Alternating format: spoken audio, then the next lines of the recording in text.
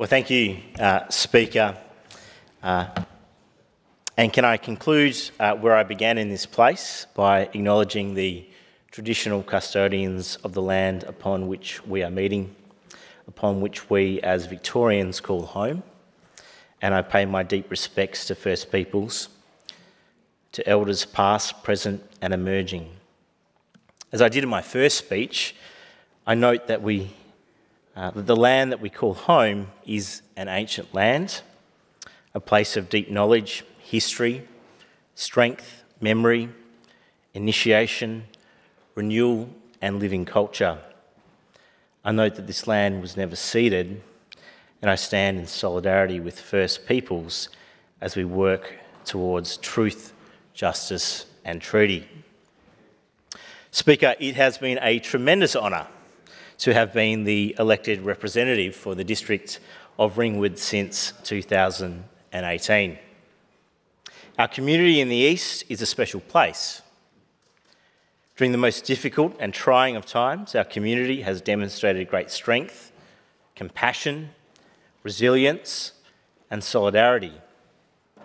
Acts of kindness are everywhere to be found across the district.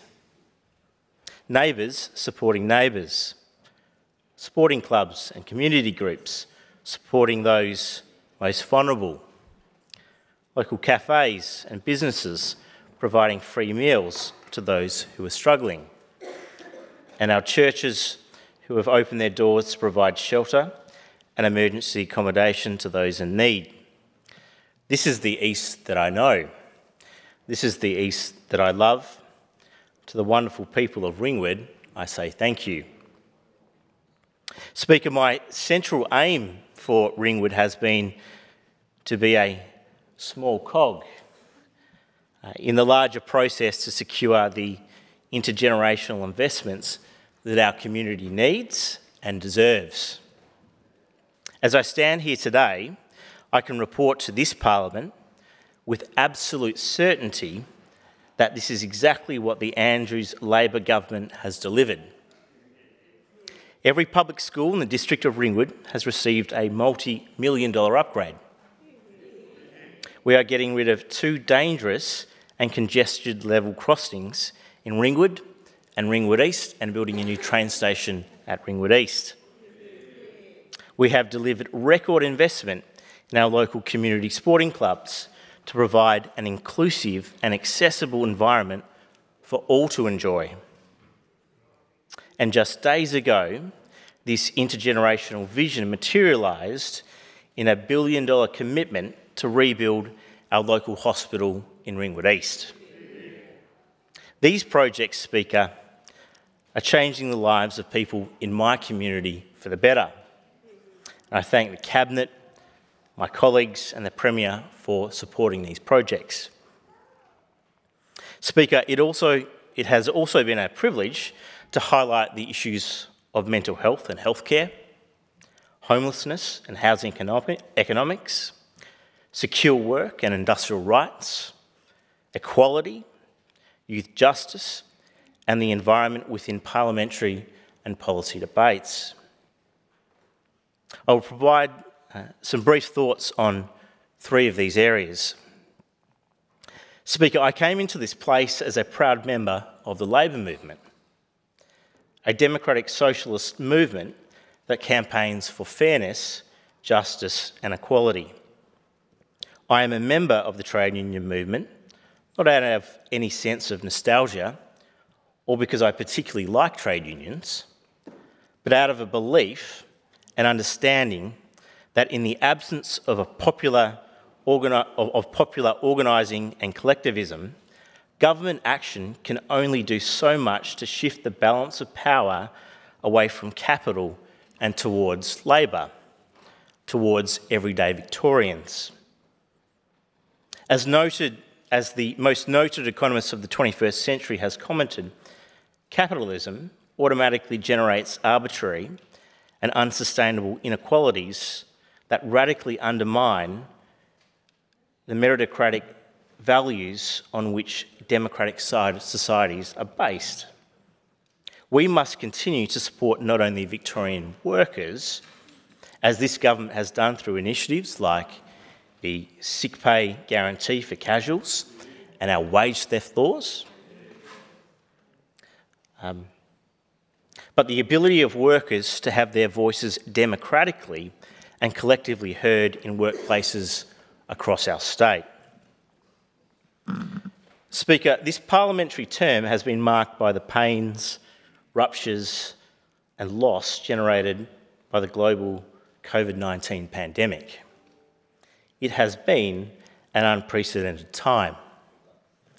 Again, in my first speech, I invited those listening to stop for a moment and put themselves in the shoes of an aged care worker employed on an insecure work contract. I made this comment with no sight or real understanding of the potential threat of what was to come and how it would fundamentally impact our society. So much has been expected of so many over these last few years. But no group has done it harder than our health and community services workers. There was no option for them to stay at home, to stay out of harm's way. This amazing group of people never stopped working. They never stopped caring. To our aged care workers, to our nurses, to our hospital and allied health staff, to our mental health and disability support workers, to our paramedics, we owe you a great debt, one which we will never be able to pay in full. You will always have my solidarity. Speaker, in all areas of public policy, there is one overarching interest that will shape our collective future. That is how we manage our changing environment. The great British natural historian and biologist David Attenborough puts our predicament succinctly. We humans, alone on Earth, are powerful enough to create worlds and then to destroy them. The natural world is fading. The evidence is all around. It has happened during my lifetime. I have seen it with my own eyes. It will lead to our destruction. Yet there is still time to switch off the reactor. If we act now, we can put it right. And, Speaker, that's why I'm so proud that the Andrews Labor government is leading the nation in action to, ad to address and mitigate global warming, rapidly decarbonising our economy in a push to 50% renewables by 2030. And it's my belief that we will beat that legislative target. Now, uh, to say a few thanks to a few people. I am cognizant that I rise in this place after serving uh, only one term. I want to acknowledge and thank all those retiring members and those members who are not recontesting the upcoming state election. Thank you for the enormity of the work that you have performed. Many in this place have spent decades advocating for their communities, decades serving the Labor movement. You have served your local communities and your portfolios. You have made our state a fairer, a stronger, a more equal, and a more prosperous place to call home. A special thanks to my comrades in the so dubbed Eastern Bloc and stronghold of the Labor Party. To the member for Bayswater, to my good friend the member for Box Hill, to the member for Mount Waverley, uh, to the member for Burwood, to Ms Terpstra in the other place, and Minister Leane in the other place. I thank you for the work that we have done alongside each other and with each other over these previous four years. In one of my other roles, I have been a member of the Integrity and Oversight Committee. I'd like to thank those members of that committee for the work that we have done collectively on some very serious and important issues. I'd particularly like to highlight the uh, leadership of uh, Ms. Shing in the other place. Uh, to conclude, uh, Speaker, I would like to thank uh, my dedicated electorate office staff. Uh, as a politician, uh, it's often uh, you are the person who is seen. It's your face in the news, it's your face on the social media streams. Behind all of that is a hard-working staff, and I have had a tremendous staff. I'd like to thank all of them for the support they have given me uh, and to the people of the District of Ringwood. A special mention goes out to my loyal friends and Office Manager Sharon Young. Thank you for all that you have done. To my family, to my mother, Dr. Ellie McGavin, thank you for your unwavering support, love, and care of our family. To my in laws, Gina and Graham, thank you for helping my family over the last few years. We have introduced a, uh, little one to our our growing family. To my uh, father, to my sister, my brother in law, my other in laws, I thank you for your unwavering support of me over the last few years. Uh, finally, uh, to uh, my wife Rachel, thank you for your unwavering support of me, your loyalty, uh, your friendship, your solidarity. it has meant the world to me. You are uh, the best human being that I know.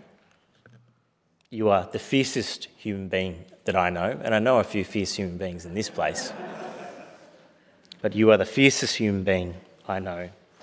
And you have a great passion and heart for others. I'm so proud of uh, what you are an emergency department nurse and an official with the ANMF. Uh, and the way that you have uh, been so generous to me has been extraordinary. Uh, and finally, to uh, my beautiful young son, Edward Teddy Alexander, uh, who is here in the chamber. Um, you will never know the overwhelming joy that you have brought to my heart. And in the most challenging times, a cuddle and a smile and a giggle from you has meant uh, the world to me. And I look forward uh, in the coming years for you to sit down with me on the patio and to question what I did in this place and what we did as a government to give us a bit of stick uh, and, uh, uh, and to, uh, to inquire about what this period, this unusual and unprecedented period was. Um, I will leave my contribution uh, there, Speaker. I thank uh, everyone in this place for their support, for their solidarity. I wish every Member of Parliament the very best on a personal level with your families, uh, with your health and mental health. I must admit, this is a strange vocation to adopt. it is a strange vocation, and I respect people who stump up and want to continue in this place. It is a difficult profession, uh, but uh, I wish you all the very best. Of course, I wish my colleagues in the Labor Party the very best in the upcoming election. Uh, and with that, Speaker, I will take my leave. Thank you.